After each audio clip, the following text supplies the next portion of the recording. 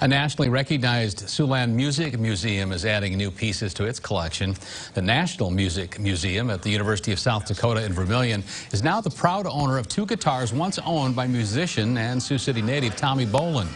It was a, I should say, he was a songwriter and guitar player who toured with many famous bands in the 60s and 70s, including Deep Purple acquiring new and important items for a museum is always important for a director or a curator. It's what gets us excited. And um, th that, that's very much the case this time. The National Music Museum in Vermilion was founded in 1973 and features more than 1,500 instruments.